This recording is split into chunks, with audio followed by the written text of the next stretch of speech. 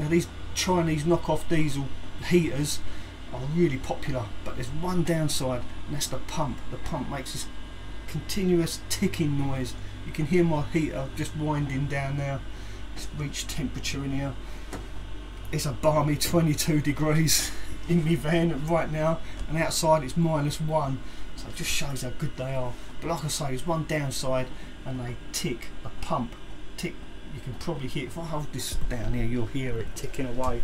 I'll show you down underneath here. There's the offending article. And you can probably hear that ticking away.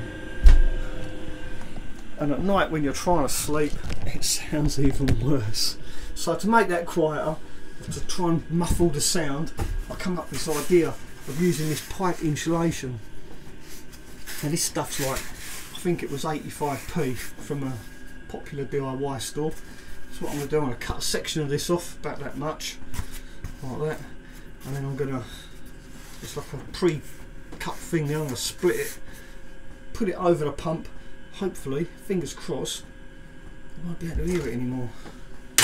So, uh, yeah, simple as this. Let's see, I'm going to do this live. so, piece of that off of there. hopefully my pumps is all going. And then it's got this pre I mean it's not I don't know if that does come apart. No you need a knife still. Just run your thumb down it like that. So cut that down here like that. Nice and simple. So now we've got this bit of insulation I'm going to pop that over the pump and see what it sounds like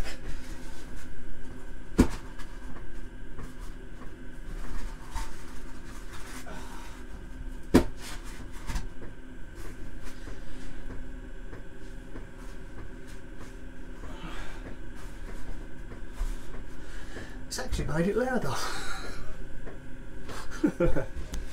well, that didn't work. There you go. I think that's actually amplifies it. Well, there you go. Not all good ideas, or quite what they seem. Yeah, doesn't work. Well, I think again, Mel. There you go, that's how not to make your pump quieter. It's quieter, it actually makes it louder.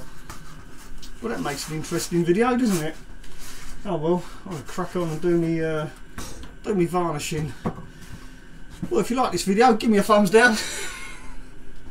if you think I'm a nutter, give me a thumbs up.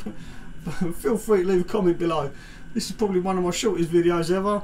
Um, well, you know, I've got to show you the failures as well as the successes. So there you go.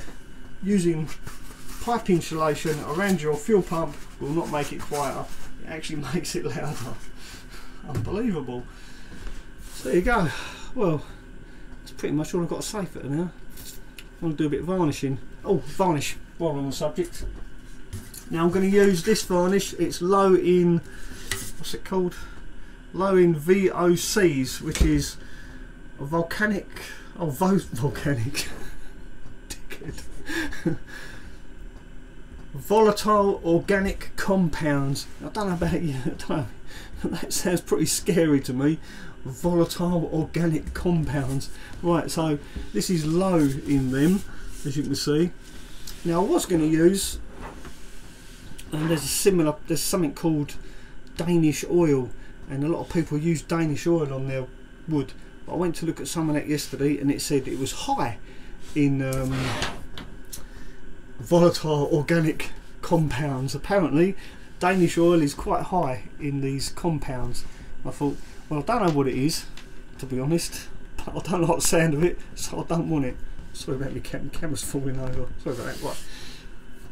So yeah, I thought, well, if if it's such a big deal, this um, vol volatile organic compounds, if they're that bad for you, um, I don't want them. Right? there must be something nasty about it. Otherwise, why would they put a big label like that on the tin? Right? As I say, does what it says on the tin. And if it's bad for you, and they put it's low, then uh, it's got to be a good thing, right? So I'm not going to use Danish oil. I'm going to use this satin varnish.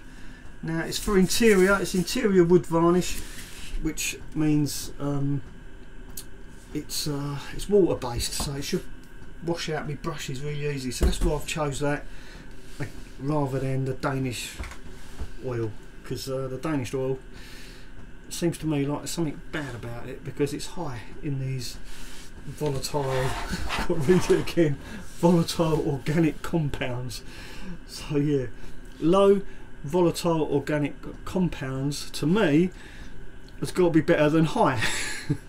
so that's why I'm not using Danish Dutch oil on my ceiling, on my side panel. I'm going to use good old fashioned varnish. Be done with it. Whatever you put on your wood, it's got to be to protect it. It's got to protect it from moisture in the air. So uh, yeah, that's what I'm going to do, and that's what I'm going to do now. I'm going to crack on. So if this video made any sense to you at all, give me a thumbs up or give me a thumbs down. Most importantly, leave a comment below. Feel free to talk among yourselves. Half an hour. Thanks for watching.